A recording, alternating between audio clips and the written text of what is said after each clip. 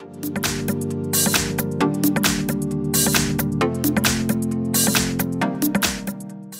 Hi everyone, in front of me I've got Samsung Galaxy S22 Ultra and let me share with you how to reset network preferences on this device. So first of all let's enter the settings and here we have to scroll down to the very very bottom to find general management. Now we have to find reset option and as you can see on the second position we've got the option we are looking for so let's tap on it. Uh, here your device is informing you that it will reset all network settings including Wi-Fi, mobile data and Bluetooth. So let's tap on reset settings.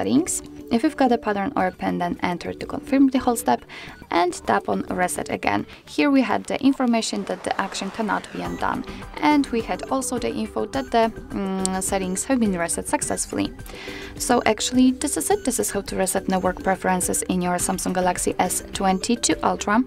Thank you so much for watching, I hope that this video was helpful and if it was, please hit the subscribe button and leave the thumbs up.